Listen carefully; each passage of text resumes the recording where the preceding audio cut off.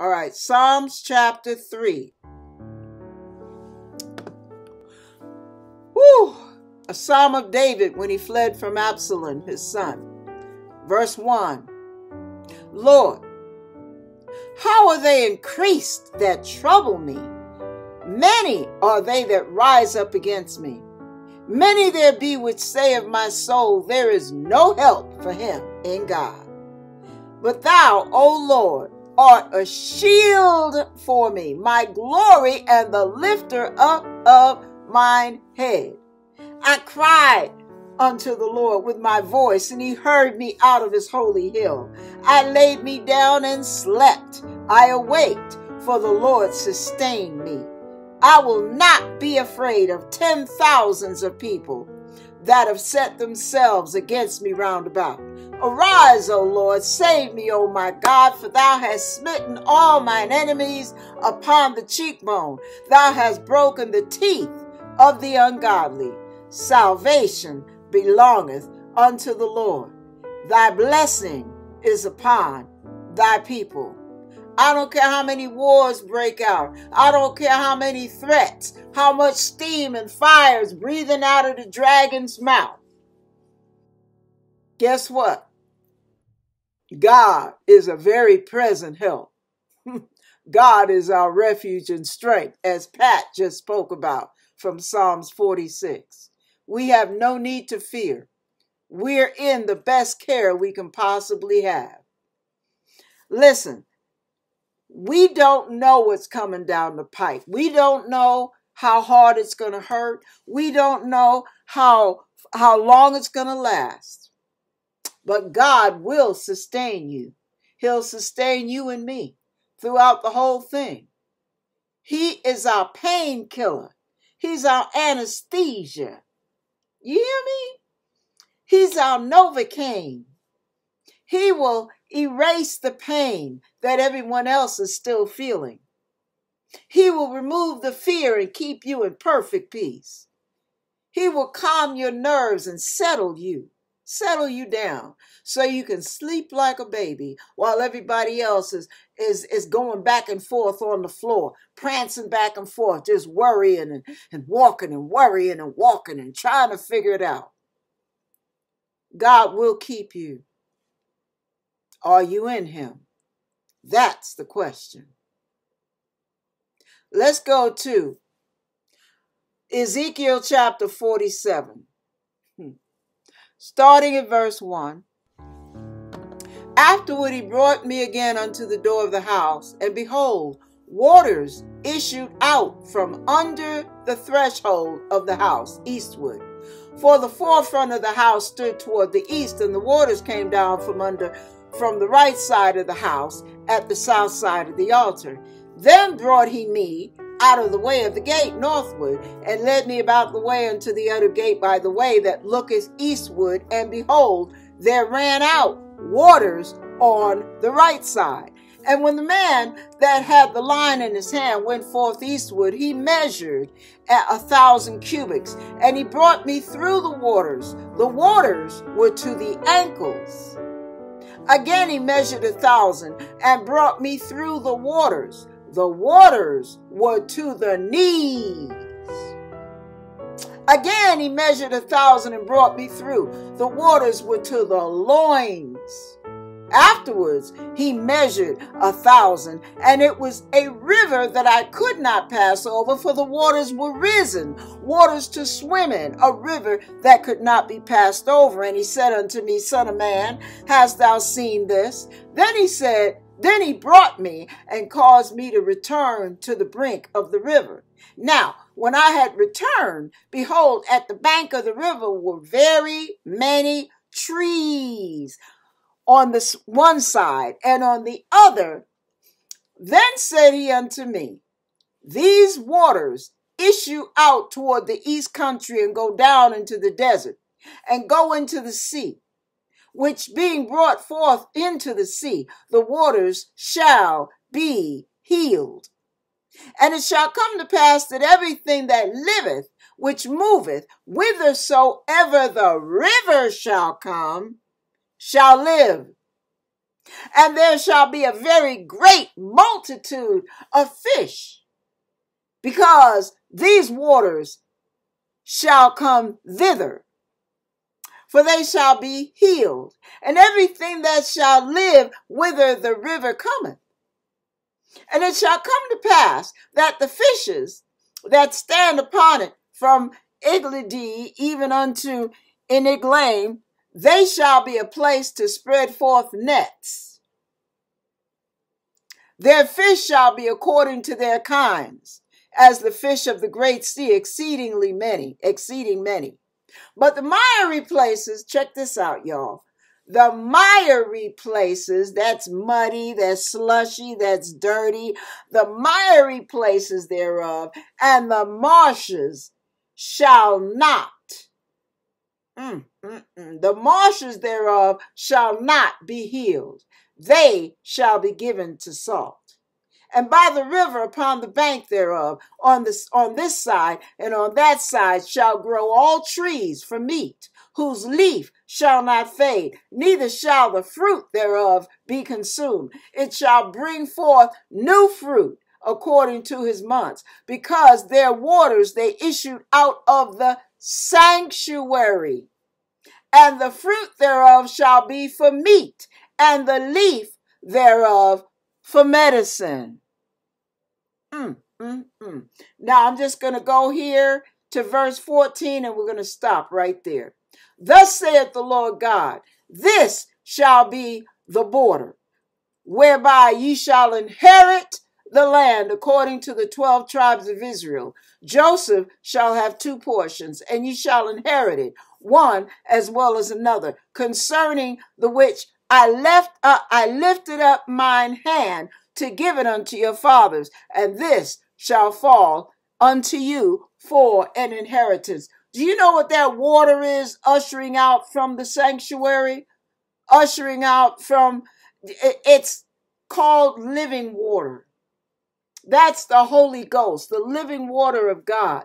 The fishes are the multitudes of people when they talk about the trees and the leaves for medicine, the, the leaves on the trees are for the healing of the nations.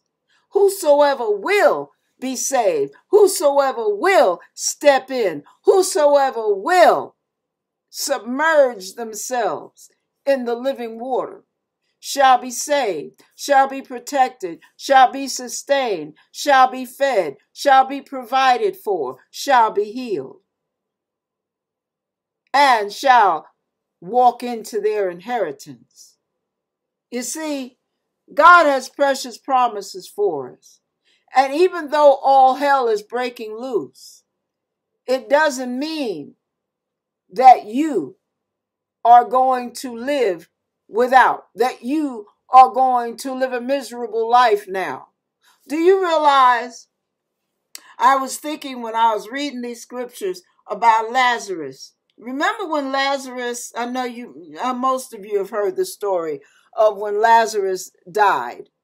And they were calling on Jesus. He was in town. And Lazarus was Jesus' friend.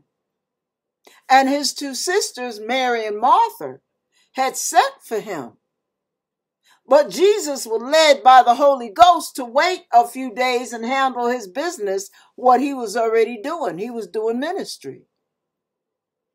So by the time he got to Lazarus, Lazarus, Lazarus had been dead four days. Now, what did they greet him with? Lord, I mean, can you imagine how they felt? This is his friend. You could have been here. If you had been here, he wouldn't have had to have died. He could have been healed. He would have been alive now. Almost like they were um uh jamming him up. Like you know what kind of friend are you? Here you got the power and you didn't even come for your own friend. What kind of friend are you? They're hurting they're miserable. Imagine how many people in this world right now are hurting. They're miserable they're angry they're discouraged disheartened because of all that's gone wrong. The government doesn't care. They're playing all kind of political tiddlywinks. They're not getting the people the help they need. Everybody's got all their little agendas while the hurting still hurt, while the poor do without, while the poor get poorer.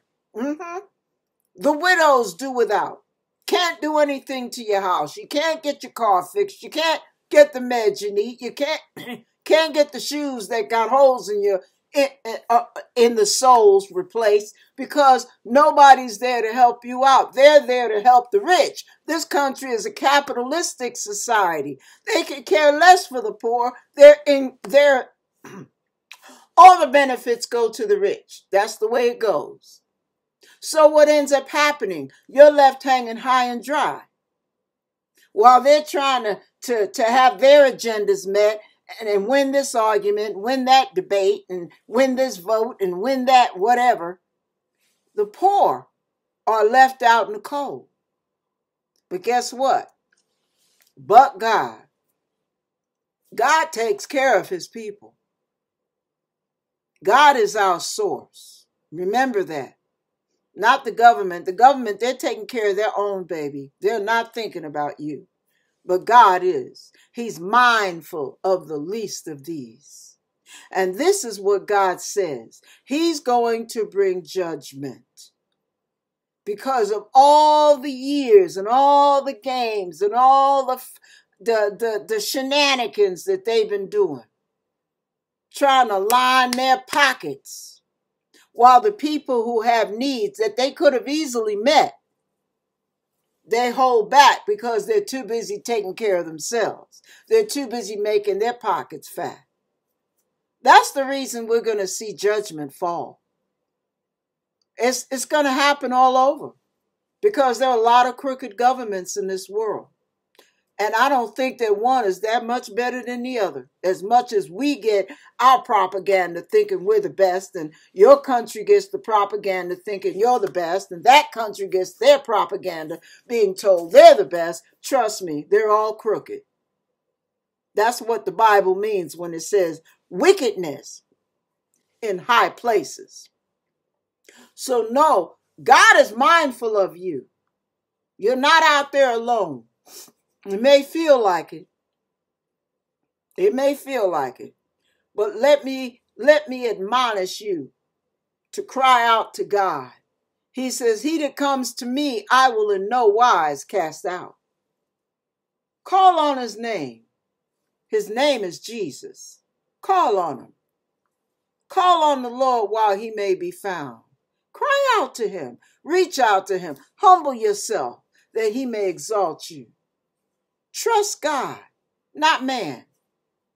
Man got too many games going on. They got too many uh, agendas going on to benefit themselves. It's like once they take care of them, if there's something left, I'll, leave, I'll, I'll throw you a crumb or two. But see, God knows how to give you the very best. He knows how to totally fulfill you on the inner man where you're not restless, nervous, fearful, and, and anxious anymore. He knows how to settle you down. No pill on this planet can do in your emotions what God can do. You hear me? All right. So I just want you to be encouraged. It's not going to be a long message. Just know that God's in control. You hear me? God's in control. And He is definitely going to bring judgment. That's the part we don't want to hear. That he's going to bring judgment. That's the hard part. And when things look like it's a lost cause, and there's so many people who have died, so many things that have gone wrong in society, and you're wondering, what is next? Trust me, God knows what's next. He's not playing games. He's not sitting there waiting to play psych. What God promises, He will give. Anyway, Father, we ask you right now, Lord, to encourage your people. We ask you, Lord, to be that lifter up of our heads. We ask you to strengthen all of us on the inner man. We ask you to come through. Even make the governments come through with the help they got right in their hand that they're holding so tight to for whatever their little secret reasons are. I pray, Lord, you force their hand to let go and release the help that the people need so they can come up out of these or out of these strongholds and these pit holes that that this whole time has put them in, Father. I pray you make COVID disappear off the planet. I pray for a miracle, Lord, a miracle of provision, protection, peace, healing. Lord, please sustain your people even through this famine. In Jesus' name I pray. I thank you, Lord, and I bless your name. Amen.